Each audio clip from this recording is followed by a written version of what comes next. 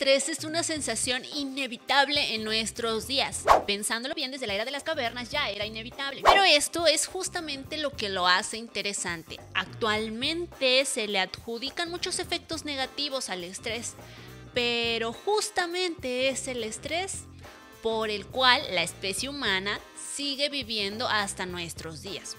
Quiere decir que a corto plazo el estrés nos ha traído beneficios de supervivencia pero el problema empieza cuando el estrés se vuelve crónico, empieza a prolongarse y entonces vienen las secuelas en la salud. Este video es únicamente informativo, no sustituye para nada la consulta médica ni nutricional. Si tú tienes alguna duda más específica, pues te invito a acudir personalmente al profesional de salud correspondiente o incluso contactarlo tú mismo. Este video es únicamente informativo y lo que tú hagas con esta información es únicamente tu responsabilidad. Amigos, bienvenidos al canal yo soy Jessica Vázquez. Hoy vamos a tocar pues temas sobre el estrés, sobre todo, pero principalmente los efectos en el cuerpo y cómo podemos contrarrestarlo.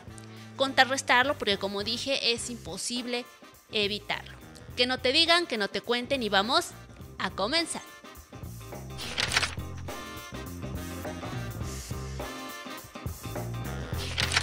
Amigos, antes de empezar de lleno, debemos tener en cuenta que el cuerpo es maravilloso. Podemos decir que es como una máquina perfecta, sí, sí podríamos, porque tiene sistemas, muchos sistemas en realidad, que, que guardan un equilibrio.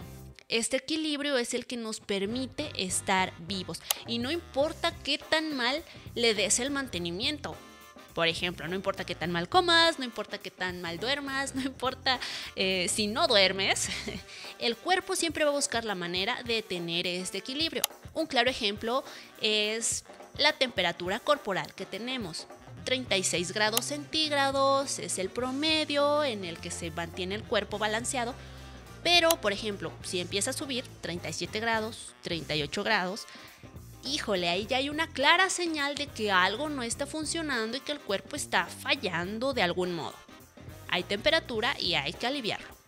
Ok, de otro modo, eh, si empieza a bajar, si empieza a descender la temperatura, entonces el cuerpo empieza a temblar, a contraerse rápidamente para generar un poco de calor y volver a la temperatura de 36 grados. ¿Ok? Entonces el cuerpo de ahí tiene varios sistemas que le ayudan a regularse. Este equilibrio se conoce como homeostasis. Hay situaciones físicas y psicológicas que pueden sacar al cuerpo de esa homeostasis. Así son situaciones estresantes. Incluso desde la era de las cavernas, pues ya teníamos estos factores estresantes al querer huir, al querer sobrevivir.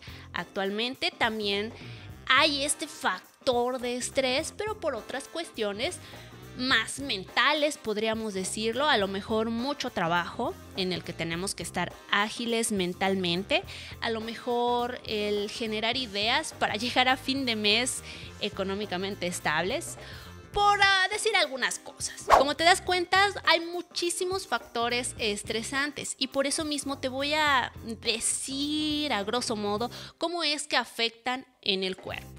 El estrés tiene dos formas de entrar en el cuerpo. La primera es la más rápida, en el que actúa rápidamente el sistema nervioso central. Rápidamente, digamos, unos segundos y entonces la noradrenalina y la adrenalina ya están actuando para ponerte ágil, para ponerte alerta, para disminuir la sensibilidad de dolor y para poner a tu cuerpo en modo listo para la acción. ¿Qué quiere decir? Bueno, que contrae los músculos. Bien, todas estas características se oyen bastante bien, ¿no? Te ponen ágil, te ponen alerta y bueno, puedes rendir más en el trabajo. ¿Y qué hay de esa disminución de dolor? Ok, bueno, en la época de las cavernas era mucho más práctico porque imagínate, llegaba un oso, te atacaba la pierna y estaba totalmente lastimada. Ok, pero esa inhibición de, dolor hacía posible que todavía pudieras correr y huir del oso que te estaba atacando y entonces sobrevivir. Por eso te decía que el estrés es inevitable, es un mecanismo de defensa. Actualmente la forma de sobrevivir es muy diferente. Ya no necesitas tanto esfuerzo físico para sobrevivir, pero sí requieres un montón de esfuerzo mental. En términos generales, esta agilidad puede ser benéfica, pero si se prolonga para tu cuerpo puede ser perjudicial. Ok, hasta aquí la primera parte. La segunda parte del estrés viene aproximadamente 20 minutos después, luego del factor estresante. Empieza la acción hormonal. Aparte de que la noradrenalina y la adrenalina van a seguir presentes, empieza a tener presencia el cortisol. Repito, el cortisol. Así es, es la misma hormona que se genera cuando tienes hambre o cuando pasas muchas horas sin comer. Así es, esa es la razón principal por la que tenemos muchísimo mal humor cuando tienes hambre. Dale like si tú también te pones gruñón cuando estás hambriento. En fin, el cortisol lo que va a generar es inhibir a la insulina para que ya no gaste tanta energía. El cuerpo está en su modo supervivencia, en una reacción de lucha y huida. Él no sabe que ya no necesitas tanta energía para sobrevivir. ¿Estás de acuerdo? Entonces él sigue haciendo este mecanismo. Inhibe entonces la insulina y el cortisol empieza a desbaratar las reservas que tienes en el cuerpo, grasa y glucógeno, para convertirla en glucosa y que el cuerpo tenga energía de dónde agarrar. Entonces el cuerpo sigue estresándose o bueno, tensando los músculos, teniendo agilidad mental, teniendo destreza física y le da prioridad a esos dos sistemas. Bien, por lo tanto, algunos otros sistemas carecen de energía y empiezan a debilitarse, como es el sistema inmunológico. Así que mientras estés estresado, tus defensas van a estar bajitas. Lo preocupante es que tanto se prolonga el estrés, entonces mientras más tiempo tengas estrés, más tiempo van a pasar tus defensas bajas, lo cual es peligroso. Bien, em, al tener en cuenta que en periodo de las cavernas teníamos alimento, quién sabe cada cuándo. Ahorita, pues ya saliendo del trabajo, posiblemente ya vayas a comer. Sin embargo, esta glucosa que degradó el cuerpo de tus reservas de energía se van a combinar con el alimento que vas a ingresar eh, pues saliendo de tu trabajo, ¿no? Entonces los niveles de triglicéridos, los niveles de glucosa y los niveles de colesterol se van a elevar en sangre, lo cual también es preocupante.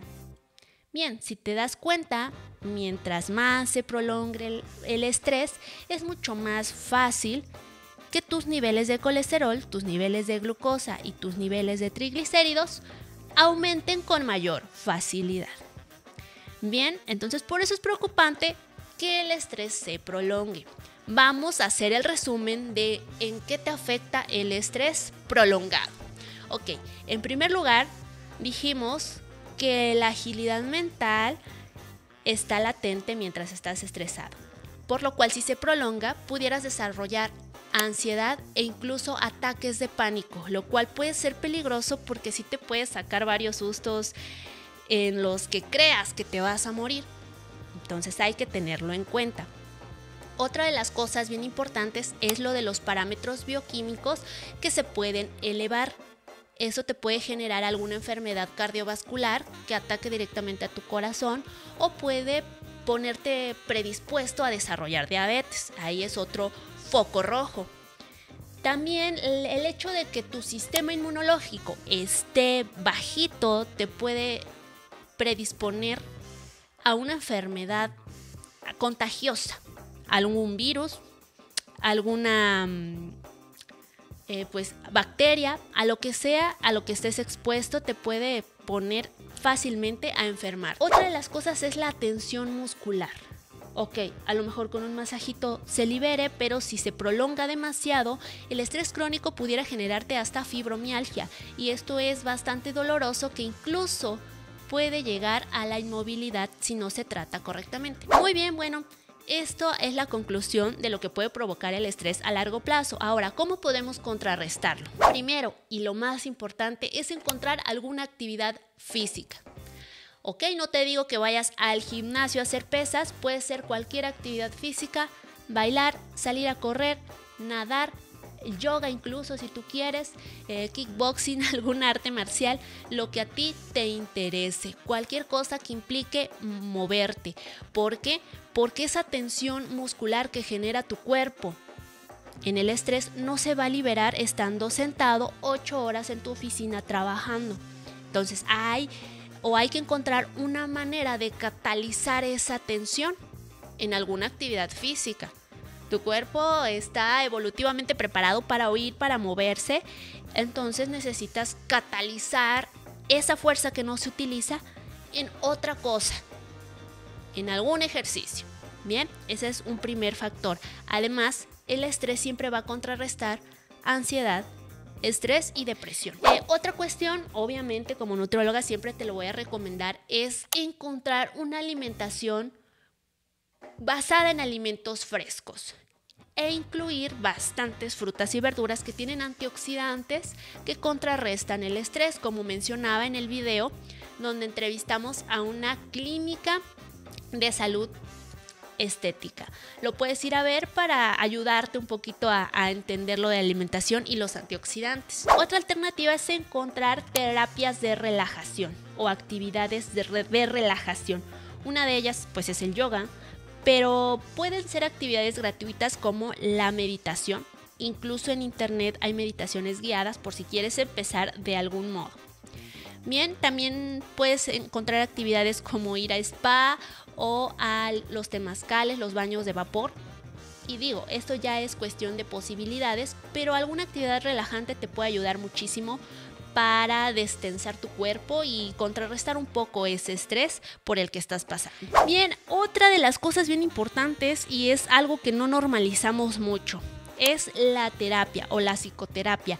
Simplemente el poder hablar libremente de tus problemas en un lugar seguro es bastante liberador. Te puede liberar bastante del estrés. Entonces, de plano, la salud mental tiene que ir de cajón con la psicoterapia y, si es indispensable, también la psiquiatría. Pero esto ya lo debes em, delimitar con tus posibilidades y pues asesorarte con profesionales correspondientes. Amigos, eso es todo por el video de hoy. Espero de corazón que estos tips les hayan ayudado un poco a visualizarse, a reflexionar y pues poner en práctica el cuidado de su salud integral. El estrés no es un juego, es real. Entonces, si no lo pueden evitar, porque es inevitable, al menos traten de contrarrestarlo de algún modo. Eso es todo por el video de hoy. Si, si ustedes tienen más preguntas o dudas al respecto, déjenmelo en los comentarios o mándenme mensajito privado. También regálenme un like, compártelo con todos sus amigos para que sigamos subiendo todo este contenido. Que no te digan, que no te cuenten y hasta aquí el video del día de hoy.